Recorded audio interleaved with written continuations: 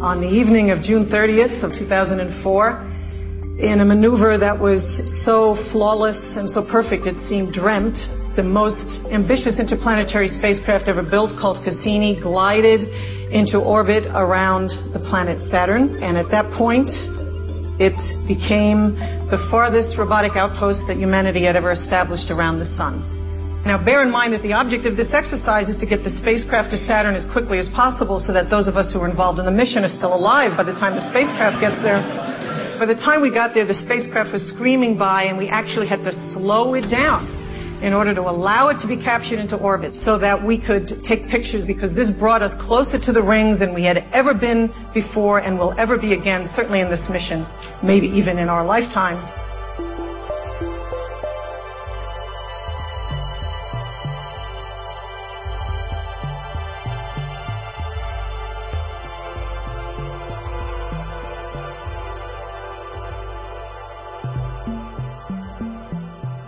The most remarkable highlight of Cassini's exploration of Titan so far was the deployment of the Huygens probe.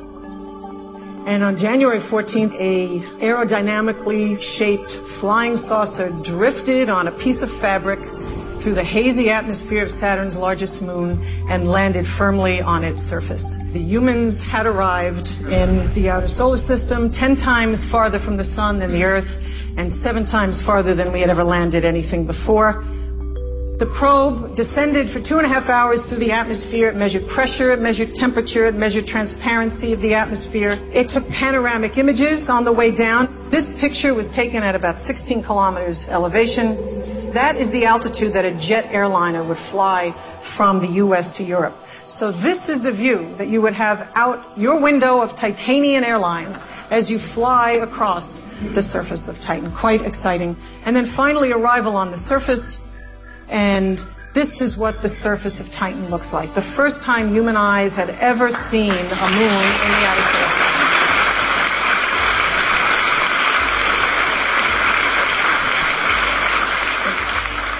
We have found on Titan a remarkable place, a remarkable surface environment that is strangely Earth-like, and we are now looking at a remarkable three years in the nominal mission, perhaps even a decade of exploring Titan and the rest of the Saturn system uh, with much to teach us about the origin of planets, the origin of other solar system, and perhaps even about the origin of life itself.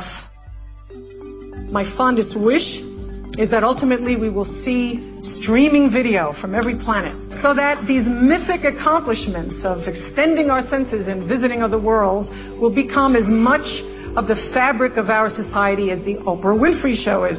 And I think that this kind of media blitz would be a much needed antidote to the uh, constant reminders of bad news and human failure that we see all the time on television and could be an equally constant countervailing reminder of, of the good and the glorious that we can achieve if we set our minds to it. The exploration of our solar system is one of the signature enterprises of our time. We should be reveling in it. It belongs to us.